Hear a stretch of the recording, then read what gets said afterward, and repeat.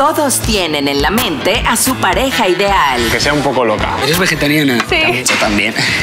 pero la realidad no siempre es tan complaciente. No es una cosa que busquen a una mujer.